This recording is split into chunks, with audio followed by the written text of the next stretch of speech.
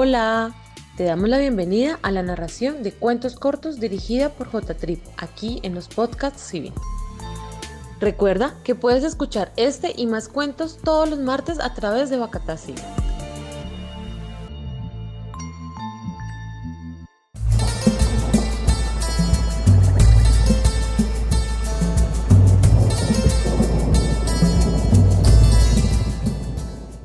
La última virgen del último gran reino, adaptación del cuento del rey Shazan y su hermano, el rey Sharian.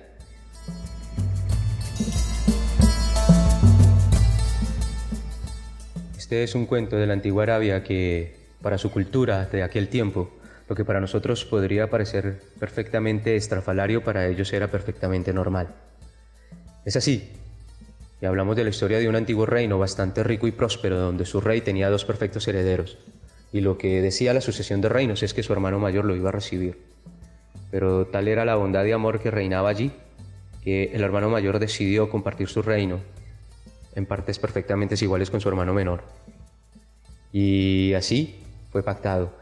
El hermano mayor, Shazan, se fue hacia el norte, llevando el 50% del reino, y el hermano menor, Sharian, hacia el sur con el 50% del otro reino. Pasaron 20 años prósperos donde cada uno hizo lo mejor que pudo con sus reinos. Y pasado este tiempo, Sharian decidió ir a visitar a Shazan.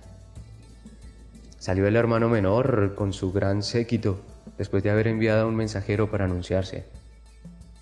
Y a mitad del camino olvidó que llevaba un regalo bastante importante para su hermano y que no podía dejar. Su esposa que lo esperaba en casa nada sabía acerca de su regreso y cuando él volvió, al acercarse a su cuarto, se dio cuenta que parecía que su esposa forcejeaba. Envainando su espada entró y silenciosamente se dio cuenta como de reojo, al atravesar la puerta, su esposa estaba con uno de sus negros esclavos, de los más fuertes, de los más grandes, quien la poseía de las mejores formas y ella simplemente se retorcía de placer. Ante tanto dolor, irrumpió en la escena y con su espada enfundada los atravesó a los dos cuando eran uno, y allí los dejó en su lecho de amor y de muerte. Se retiró con el regalo de su hermano Shazán y se fue a alcanzar a su séquito.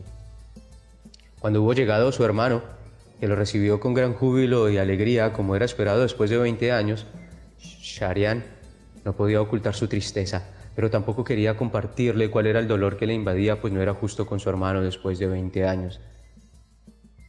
Por más que insistió Chazam en animar a su hermano a que le contara cuál era su pena, éste se negó a contársela.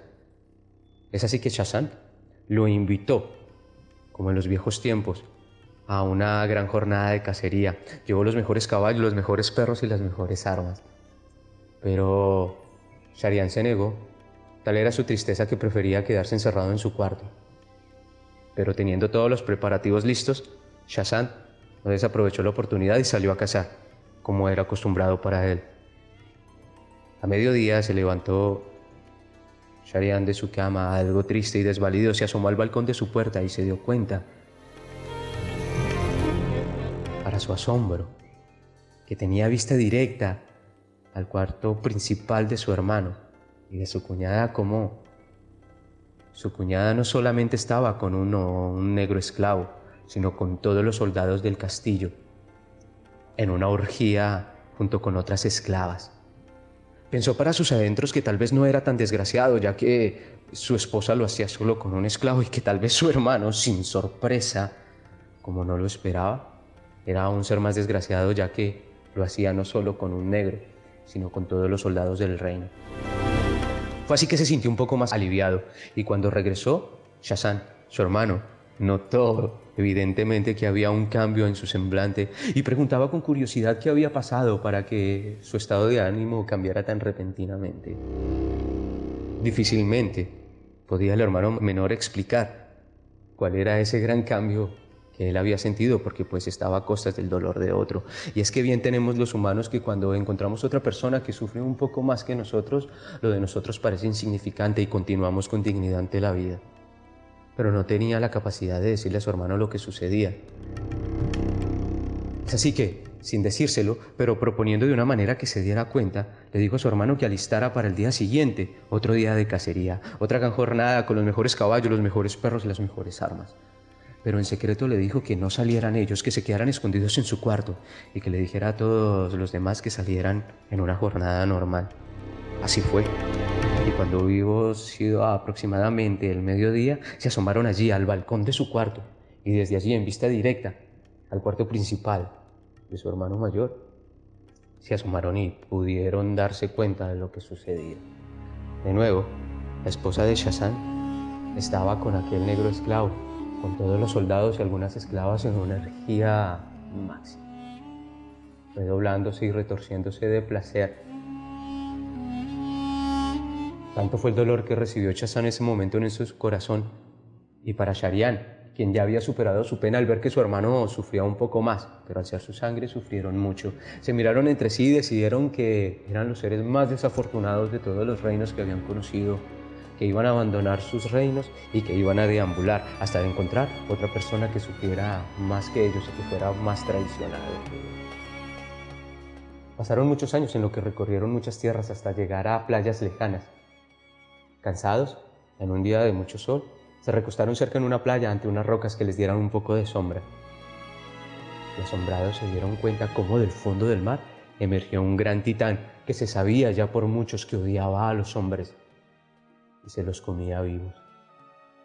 Se quedaron escondidos allí detrás de la roca y se dieron como aquel titán, al llegar al borde de la orilla de la playa, abrió su cráneo y sacó un enorme cofre, y el cual al abrirlo salió una hermosa y sensual mujer de cabellera larga quien en su total desnudez sentóse sobre la arena del mar, en la playa, apoyó la cabeza del gran gigante y mientras le acariciaba le cantaba hermosas canciones. El gigante se quedaba dormido. Tan pronto aquel titán se quedó dormido, aquella hermosa mujer miró de frente a los ojos a los dos hermanos que estaban escondidos detrás de la piedra y no se imaginaban que ella ya sabía que estaban. Los amenazó de que si no obedecían, a lo que ella deseaba, iba a despertar a aquel titán y obviamente se los comería vivos.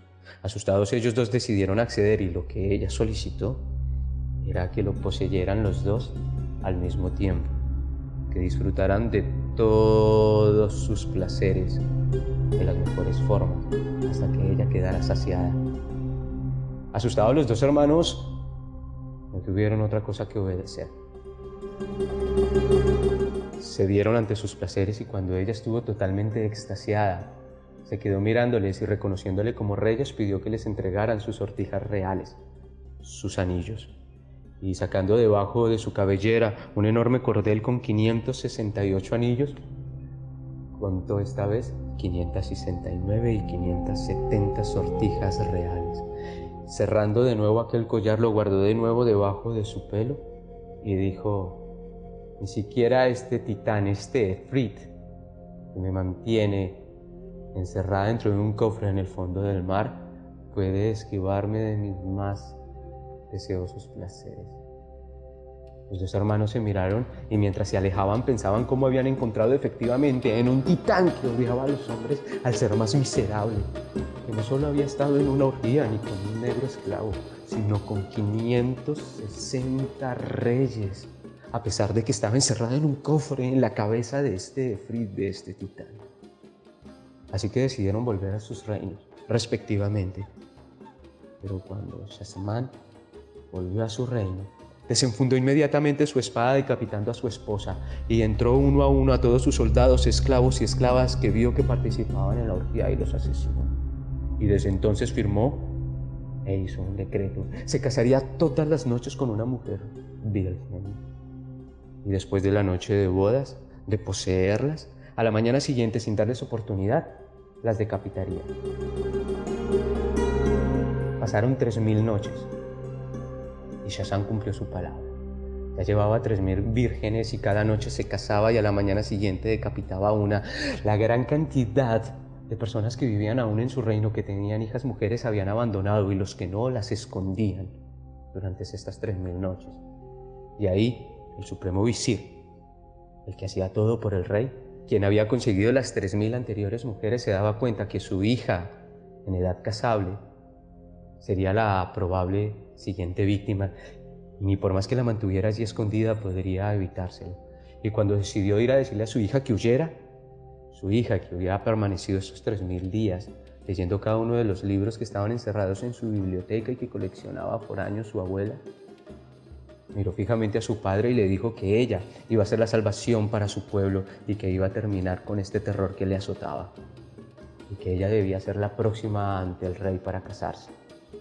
Su padre, el supremo visir, le pareció una locura y por más que intentó hacerla entrar en razón, más valía que entre más le llevaba a intentar la contraria llevarle, parecía que ella más decidida estaba. Finalmente accedió. Fue y le dijo ante Shazamán, el supremo rey, que la siguiente sería su hija. Sorprendido, él se sintió halagado y dijo que estaría bien. Se llevó la boda Vino la noche de bodas, él la hizo suya y en ese momento, como se había pactado, él le había pedido a su padre que tuviera cerca a su hermana menor. Y en petición de regalo de bodas, le pediría al rey que le permitiera contar la última historia a su hermanita. La hizo llamar presente, el rey accedió y así fue.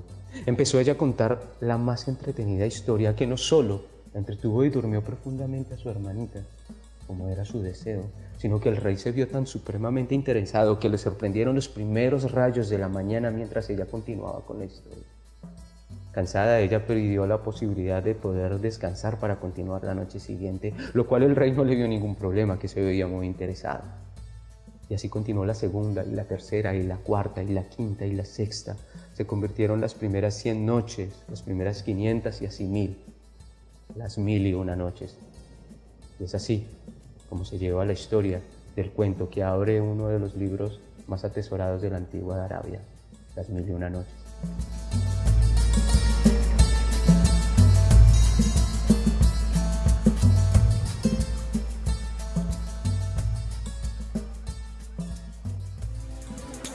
Estamos seguros que te gustó este cuento, así que te esperamos el próximo martes con una historia nueva aquí en Spotify.